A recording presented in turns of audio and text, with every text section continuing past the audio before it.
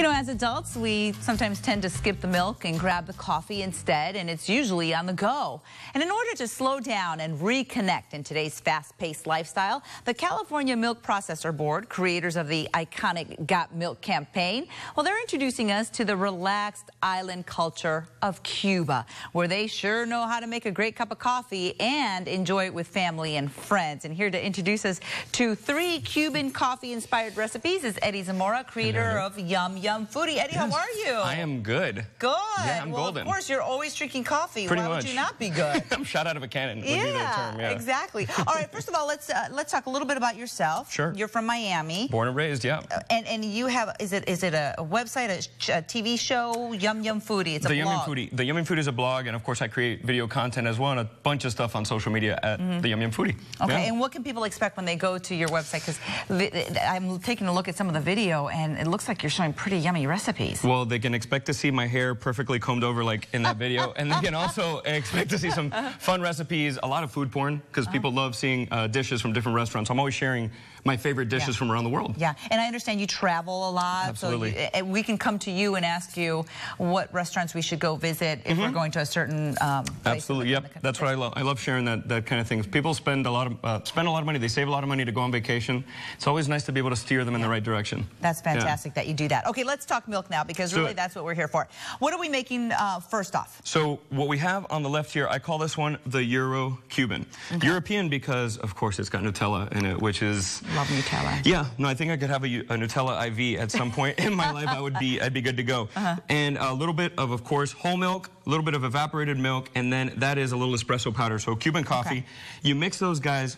Well, you make the coffee, of course, which we have right here. So you make the coffee with the espresso? Mm-hmm. Okay, so this is espresso. espre- Exactly, yeah. I took the liberty of making a little espresso ahead of time. Okay, perfect. And then I've mixed together my milk, my Nutella, mm-hmm. some shaved chocolate, okay? Okay. A little bit of sugar to taste, because everybody's palate for sweetness is a little bit different. Yeah, yeah. And then always a pinch of salt, which is what my grandmother would do, because that actually brings out the sweetness in it. Wow. It changes your palate. Okay. And then stovetop, whisk it all together. Well, you whisk the Nutella in there with the evaporated milk? Yeah, that all of it all together in the same pot. So it's actually it's really easy to do. Okay, Just okay. to obviously keep an eye on it. That you don't sounds want it to really good. boil, right? So uh, whisk those guys all together. And the Nutella, you want it to get nice and creamy and mixed in because the milk is already creamy. Mm-hmm. The chocolate's going to melt in, and if the Nutella doesn't melt in, it's going to be clumpy. You don't want that. So we get that all whisked in. Mm-hmm. Of course, I put a little bit of coffee in here, a little espresso, a little Cuban coffee.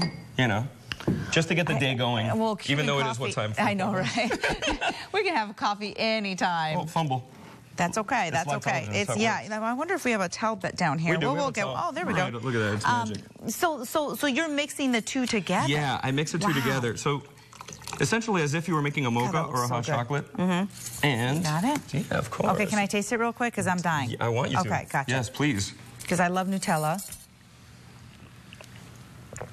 Oh my goodness. And the, and the chocolate. yeah? Mm-hmm. Now, what kind of chocolate? So I use? I use a, a semi-sweet chocolate because I don't want it to get too too too too sweet.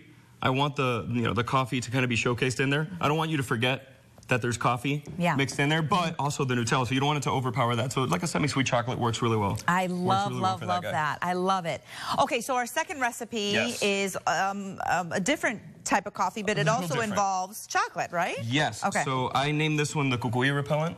So uh, the boogeyman or the, oh, the Latin boogeyman. yeah. yes, yes. So, of course, we have our espresso. So I'm going to add that in here already just because why not? Um, so we have our little espresso at the bottom. Mm-hmm. And then, similar uh, to the predecessor, we've got milk. We've got a little bit of evaporated milk, Okay. the shaved chocolate. Okay. But now we've taken another a step further. We've got cinnamon sugar and we rim the glass.